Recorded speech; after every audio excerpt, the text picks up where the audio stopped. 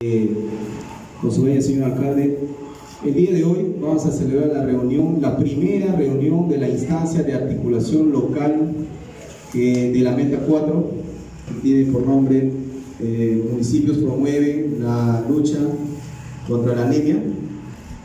Señor regidor Jeremy Maldonado, de acá de la comuna sanmarinense, señor regidor Leonardo Hidalgo Vigil, eh, Bonito Pineo, gerente de Desarrollo Social y Manuelito tu gran amigo, gestor de la Meta 4 y los presentes. Eh, ¿Cómo podía faltar la inauguración de esta primera reunión de instancia, a pesar de estar en consejo? Ha sido un alto a, este espacio democrático, eh, porque primero quiero felicitar por haber cumplido la, la meta del año pasado felicitarles porque realmente han hecho un trabajo maravilloso, eh, es un trabajo conjunto, cuando se planifica, cuando se organiza, cuando se compromete, cuando se tiene todas las intenciones del mundo, no hay reto que no se pueda cumplir. Yo he estado presente siempre en las acciones que ha desarrollado el equipo en conjunto y el resultado es ese, el cumplimiento de una meta. Sabemos que este año también igual estamos comprometidos en la, en la lucha contra la esta reducción de un porcentaje que hoy bordea no 51% a nivel provincial, sino el 45% aproximadamente. Esperamos que hasta fin de año logremos bajar esa cifra y estemos debajo del 40%. Sería realmente fabuloso. Yo cuando tengo oportunidad de dirigirme a instancias nacionales, destaco siempre un detalle que ya lo han tomado en cuenta, estimado Manuel yo dije, es meta para nuestros distritos que están conectados. Caraboto, Morales, La Banda. Corrígeme, no sé si es meta para los otros distritos, especialmente el Bajo Guayana. Ok, eso hago mención yo. Yo no necesito una meta para poder trabajar precisamente la lucha contra la Yo debo destacar eh, cada vez que yo me desplazo hacia esas zonas, percibo enormes eh, desigualdades. Y creo que en ese sentido, esta instancia que inicialmente estamos trabajando acá en este ámbito urbano, vamos a tener la correspondencia.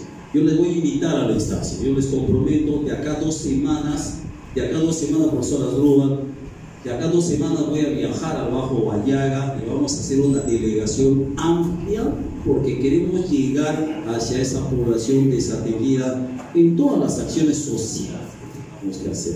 Va a ser importante, nos vamos a encontrar con la otra realidad. Es la realidad que a veces no la conocemos, seguramente muchos de acá con el profesor nos hemos ido hasta la zona de Huimbayón la parte alejada de la provincia, hemos estado en Papaplaya, etc. Vamos a estar allá de acá dos semanas y les comprometo ese, a, a, ir a esa reunión. Pero hoy día nos convoca esta instancia de coordinación. Eh, yo quiero ver más ampliación de las instituciones, estimado Manuel, profesor Adroba y las otras instancias. Eh, la, convocación tiene que, que, abrirnos para permitir de que todos realmente estamos comprometidos en esta lucha frontal. Y cuando todas las eh, instituciones, todos los distritos salen de, gozosos, felices de haber cumplido la meta, realmente a uno también lo llena de compromiso. Y ese compromiso hay que seguirlo sosteniendo en el tiempo. De parte de la Municipalidad Provincial de San Martín siempre va a haber la predisposición disponibilidad de recursos, el apoyo logístico, el personal y todo lo que signifique darle el soporte para poder llegar a la meta correspondiente.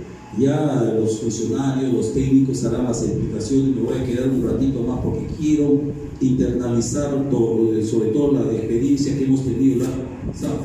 ¿Ya? Si hay algo que aprender, si hay algo que corregir en buena hora, y lo que ahorita nos convoca es precisamente qué es lo que vamos a hacer el año 2020 para poder seguir sosteniendo esta lucha que es frontal con la reducción de la pandemia. Muchísimas gracias y esperamos por haber curado el evento. En su calidad como presidente de la instancia de la Coordinación Local, creo que es compromiso, que ya lo asumió en el año 2009 y hoy continuamos con la meta 4 2020, ¿no? y eso es importante. Para las autoridades que le acompañan, porque no solo es trabajar desde la autoridad con una parte política y estratégica, sino que hay una parte técnica y operativa que tiene que funcionar. Ahí está la gerencia de desarrollo social que tiene que aportar mucho en este trabajo y garantizar la articulación con los otros sectores, que ahora los tenemos presentes. También agradecerles por su presencia a cada uno de ustedes, a la sociedad civil también que se hace presente y al equipo de trabajo que ha venido desarrollándose en el año 2001. En realidad hay que felicitar. Hay que felicitar porque la región San Martín ha ocupado un tercer lugar en la reducción de la anemia por haber reducido 5.8% en relación al año 2018 vinculado al año 2019. Con 50.1 que tenía en el año 2018, pero se encontró con 43.4. ¿no? Y esa condición nos garantiza que hemos logrado el poder reducir la anemia. Pero eso no es un trabajo solo de la mente, creo que ustedes entienden. Es un trabajo de todo el equipo y de todos los sectores, porque cuando hablamos de la reducción de la anemia y el indicador nos muestra, estamos hablando de los menores de 3 años.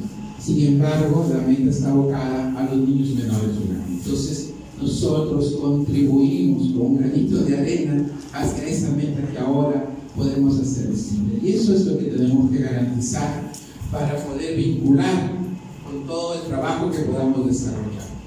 Muchos de los sectores pueden decir, yo no me involucro porque ¿qué tengo que hacer con los niños menores de un año? educación nos va a decir, pero ellos todavía no dan a formarse a nuestras aulas.